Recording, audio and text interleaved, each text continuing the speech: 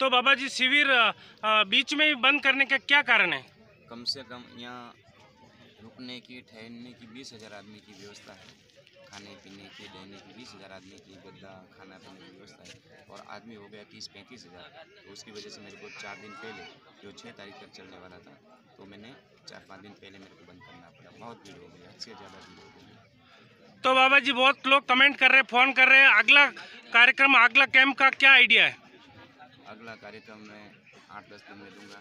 लेकिन यहाँ पे ये एक महीना का कार्यक्रम था तो लोगों ने क्या किया कि पाँच दिन आना पड़ता है। तो लोग घर पे गए ही नहीं। जो लोग आए वो यहाँ ही रुक गए।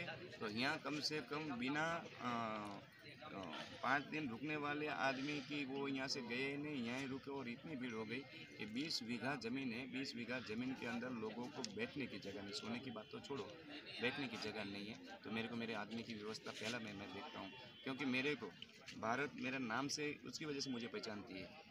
मेरे को कोई चेहरे से नहीं मेरा काम से पहचानती है। बाबा के वहाँ जाऊँगी ठीक होके आऊँगी।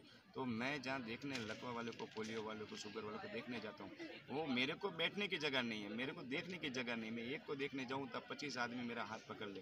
मतलब इतनी भीड़ हो, चुकी है तो उसकी वजह से मेरे को पाँच दिन पहले कार्यक्रम बाबा जी एक बार नंबर बता दीजिए।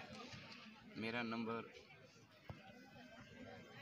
छियासी चौरानवे निन्यासी डबल थ्री डबल थ्री, ये मेरा नंबर है और और एक नंबर है मेरा, nine zero nine zero, three zero, nine two nine two.